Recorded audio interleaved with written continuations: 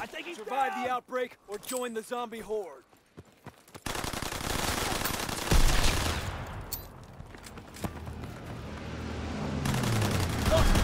Take his shot. His head. Over there. Ammo! Reloading!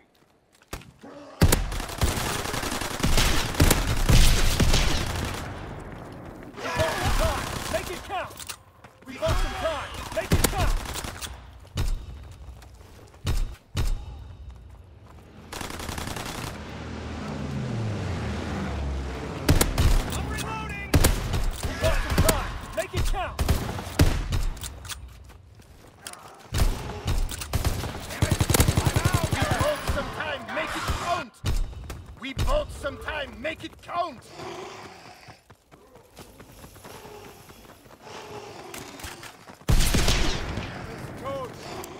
rocket incoming!